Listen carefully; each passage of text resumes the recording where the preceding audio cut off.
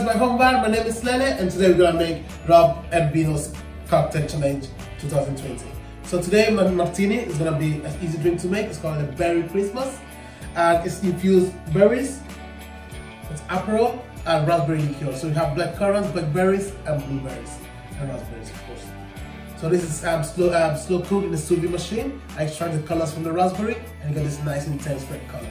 So easy drink to make. It's gonna come with whiskey, a bit of Scotch whiskey Highland Park 12, one of my favorite, and a little touch of double cream. So very easy cocktail to make. Let's make one together. Here's your small tin. So we're gonna start with 50 ml of the Scotch. So Highland Park. Here we go. Okay.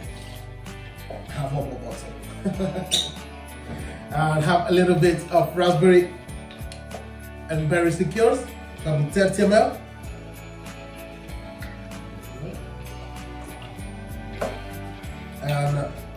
These two ingredients gotta be shaken. So large thing.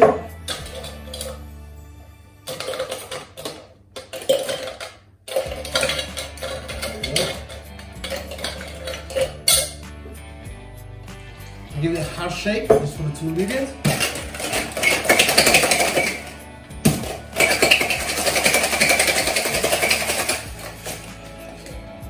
Plastic.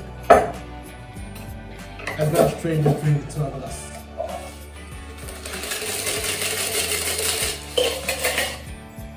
Okay. And next, we're gonna add a little bit of our double cream.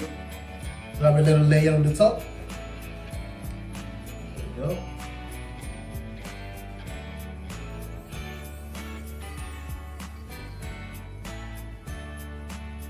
Okay.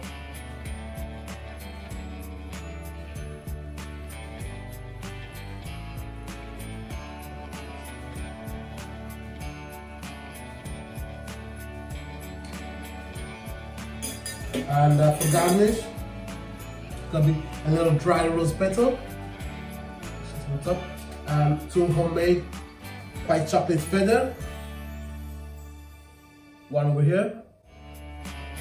And I'll show you the next one. Delicious.